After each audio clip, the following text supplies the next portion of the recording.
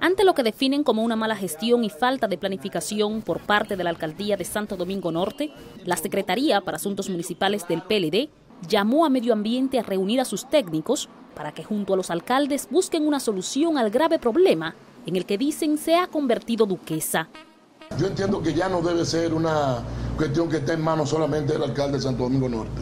Eso obligatoriamente el Ministerio de Medio Ambiente y el de Salud Pública, junto con el de Obras Públicas, debe ponerse de la mano con esos ayuntamientos hasta tanto tengamos otro destino final.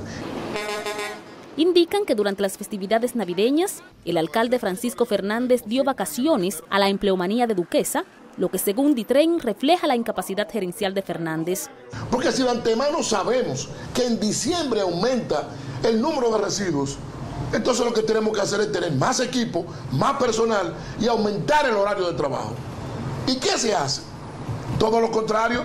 Aconsejó al gobierno dividir en tres etapas la solución al vertedero. Duquesa, a más tardar en ocho meses debe estar cerrado y debe haber otro lugar de destino final de, los desechos sólidos, medioambientalmente sostenible, con una cuestión bien hecha.